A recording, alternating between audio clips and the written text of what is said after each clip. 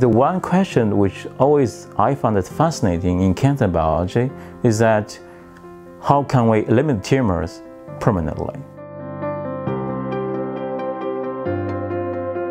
So we know chemotherapy in brain tumor uh, treatment is working, but it's only working for a very short time period.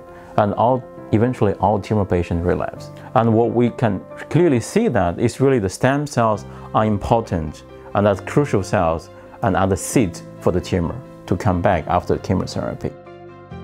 The progenitor cells, the fast dividing cells, the differentiated cells, they respond to chemotherapy and they are gone.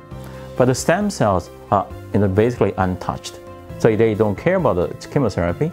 And they, if you withdraw the therapy, you see these cells start to divide and they give rise to the other cells again. The tumor bulk is basically rebuilt. Now if we have a model system, so we can really zoom into the tumor. So we can use the genetic engineering trick to really put individual different colors, we call fluorescent proteins, into different population of cells the cells I described, for example, they are stem cell, non-stem cells, and uh, stroma cells. Now you can label each cell population into different colors.